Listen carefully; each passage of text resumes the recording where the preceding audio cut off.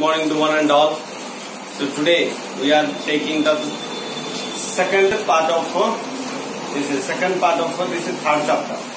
Okay, the first chapter no sorry this is we are dealing with the third chapter.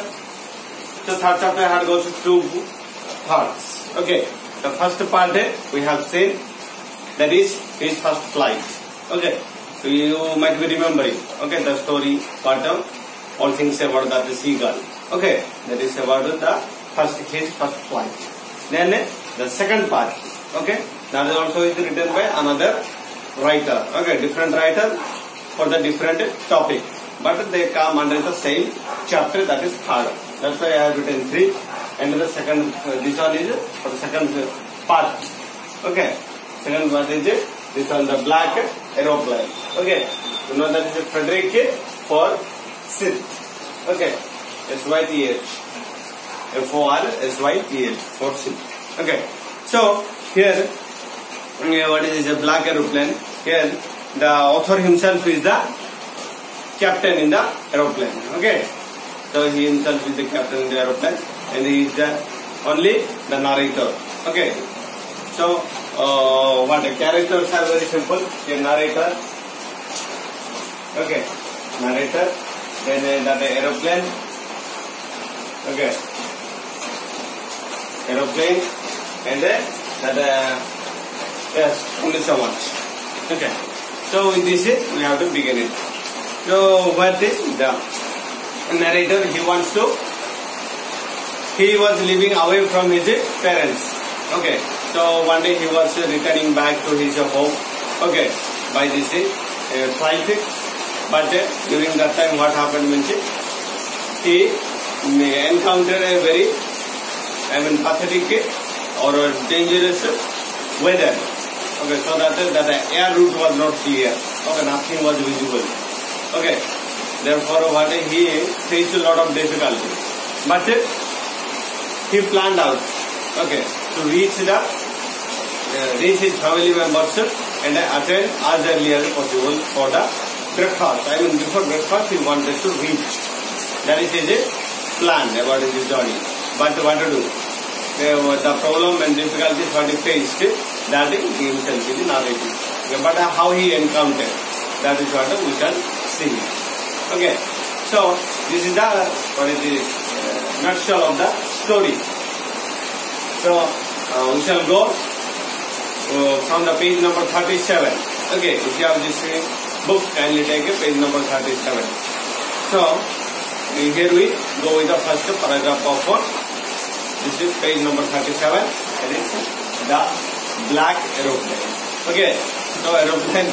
You might be you might be knowing about the color of the aeroplane, how it is. Okay, uh, very rare to find this black aeroplane. But then this is uh, how uh, why this is topic. According to this topic, and this is color of the aeroplane, black aeroplane, how it is connected. Okay. So whether it is really it was a black aeroplane or not, that we shall see as we go through the this topic. Okay. Is line by line and a paragraph by paragraph as we see. Okay. So the moon was coming up in the east behind me and the stars were shining in the clear sky above me. There wasn't a cloud in the sky. I was happy to be alone, high up above the sleeping countryside. I was then I was flying my old Dakota. Dakota means the what is the name of a is aeroplane. Okay, Dakota. Dakota. D A K O T A. Name of the aeroplane. Okay, narrator say aeroplane is what Dakota. So it was old. Okay, not new one. It was old. So what happened? He was flying from. He was flying in old Dakota aeroplane over France back to England. Okay, so from France to England he was flying by his aeroplane aeroplane that is Dakota. Okay, so it is clear that the this narrator or the writer was in France and he wanted to come back to his uh, homeland or his parents in England. Okay. So I was dreaming of my holidays and looking forward of being with my family. I looked at my watch and 30, no, 1.30 in the morning. Okay. So when he started his journey, he started his journey at 1.30. Okay. 1.30 a.m. Okay. 1.30 a.m. means it, night. Okay. Night he began. That's why and the problem I think he might have faced. Okay, night he began at 1.30 a.m. Okay, so I should call Paris control soon. Okay, because you know that the capital of France is Paris. Okay, so if he wants to fly, okay, from there means he has to oh, what? He should uh, call Paris control. Okay, Paris control soon. So I thought as I looked down past the nose of the aeroplane, I saw the lights of a big city in front of me. I switched on the road, I switched on the radio and said, Paris control, Dakota DS, okay? Dakota DS 1, uh, that's it, Dakota DS 088, okay? These are what? DS 088. This is the what? Number of that aeroplane. Okay. So that is what with this is he is uh, speaking. Okay, speaking to that Paris control. Okay, that is this is the number of my Dakota and I am flying from here. So I am on my way to England over. Okay, so he started his uh, journey. Okay, uh, from Paris to England. Okay, that is the meaning of this is paragraph. In the next one, what is what shall uh, what happened? Let us see. The voice came from the radio, answered me immediately. Okay. DS 088. I hear you. You ought to turn 12 degrees west now. Okay. So DS 088 over. So they were communicating through the radio. Okay. During that time it was not that much. Uh, what is called uh, as we have nowadays the mobile or say any a sort of for an I mean advanced communication. Okay, gadgets were not available during that time. That's why they used to uh, communicate each other through the means of this radio. Okay, so through the radio, he also was advised to this narrator was advised by that control room to start his journey from the where? Okay, uh, from west. Okay, from west he was to start his journey. So uh, he was in, we saw that the moon was coming up in the east. Okay. Okay, moon was coming up in the east. So he has to start his journey from the west. Okay. So the next paragraph, let's see. I checked the map and uh, sorry, I checked the map and the compass. Switched over to my second last fuel tank. Okay, and turned the Dakota 12 degree west towards England. I will be in time for breakfast, I thought. A good big English breakfast. Everything was going well.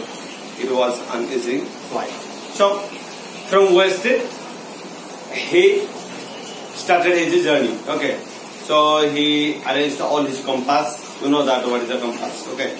And then how it is useful to right now how it is useful for this flight and the ship as well. Okay for the direction it is very very important. So uh, he arranged all the all the essential things before flying it. So he started 1:30 a.m so uh, he wanted to reach england or to his family members so before breakfast. Okay he wants to enjoy breakfast along with his family members. That is what his intentions. Okay, and then he also thinks that so far the flight was safe, or the journey was safe.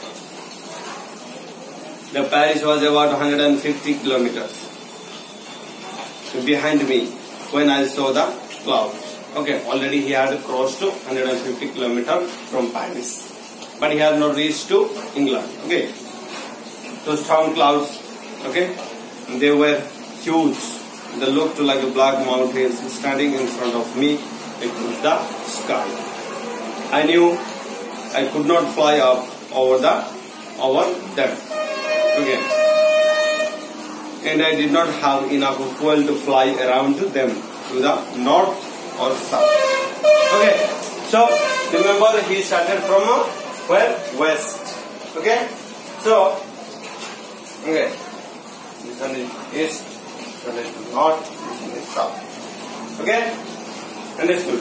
So he started from uh, west. Then uh, in this paragraph he encounters a very tragic experience. Okay, what he experiences it? Already he had crossed 150 kilometers from uh, Paris, but he has not reached to London. During that time, what he encountered? A black cloud in the sky. Okay, so it is it became very difficult for him to take the route ahead. Okay, that's why he said that one. It is very difficult for me to move even from where north or south. Okay, to both the direction it was very difficult. Okay, because the air route was not clear. So then what happens? Let's see. I thought to go back to Paris. Okay, I thought, but I wanted to get home. I wanted, I wanted that breakfast. I will take the risk. I thought and flew that old Dakota straight into the storm. Okay, so but uh, this is what is uh, narrator. Okay, this narrator he thought of going back to Paris. Okay, but uh, at the same time also he wants to enjoy. Okay, he wants to meet his family members. Okay, so his plan was to reach his family members before breakfast. So, with a lot of difficulties and courage, still he proceeded ahead through that uh, black cloud. Okay, so inside the clouds, everything was suddenly black. Okay, it was impossible to see anything outside the aeroplane. The old aeroplane jumped and twisted in the air. Okay, I looked at the compass. I could not believe. Okay, I could not believe my eyes. The compass was turning round and round and round. It was dead. I would not work. The other instrument was suddenly dead too. I tried the radio. Okay, so what happened? The storm grew so furiously. Okay, the storm became so furious. So when he flew ahead that time, this is what is this? Aeroplane was out of control. Okay, out of control. Then when he looked at the compass, okay, when he looked at the compass, and the other instrument also was not working. Everything became uh, out of order. Okay, out of order means this is not in, I mean not working. Okay, so this is the problem he faced in this therapy. So then even that he tried to communicate to the Paris control room, okay, through that radio, but the radio uh, also was unfortunately not working. Okay, so in this pathetic time, okay, you might be remembering if you or me, if uh, any one of us there in the place of uh, that uh, narrator, then what would be our feeling? Okay, so let's see. But he tried to communicate the Paris control room through the radio. Then what happens? Let us see whether the radio was alright or not. That we shall see in the next paragraph. Paris control room. Paris control room. Can you hear me? Okay. He is already who narrator is asking the Paris control room. So there was no answer. The radio was dead too. Unfortunately, unfortunately the radio also was out of order. Okay, dead means it was not working. Okay. So, so I had no radio, no compass. I could not believe where I was. Okay, I was lost in the storm, then in the black clouds quite, quite near me. I saw another aeroplane. It had no lights on its wings. Okay. So, uh, but I could see the, it flying next to me through the storm. Okay. I could see the pilot's face turned towards me. Okay. So I was very glad to see another person. He lifted one hand and waved. Okay, so in this paragraph we see a type of what relaxation that he who faced, this narrator faced. So in this paragraph, what this? He tried to communicate this is Paris control room through the radio, but the radio also was out of order totally. It was not working. So what happened? Suddenly he saw a, an, another aeroplane. Okay, the captain was flying an aeroplane. Okay, but it had no lights. Okay, so without light it was flying. So imagine that. Okay, how it be. So uh, it was flying without light, but the captain saw narrator and uh, just waved the hand. Okay, waved the hand and uh, uh, yes, then uh, this narrator was very happy. Glad means what? Happy. Okay, I was very glad to see another person. He lifted one hand and waved. Okay, then he was uh, extremely happy. Then uh, what happens? Let's see. Follow me, he was saying. Follow me.